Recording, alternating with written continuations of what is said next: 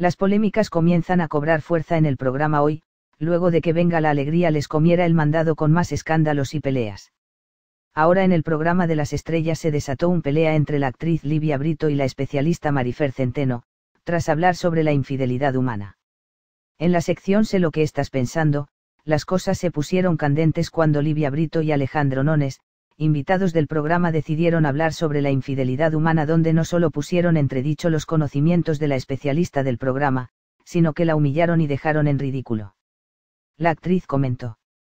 Yo quiero decirles que la fidelidad en los seres humanos no existe.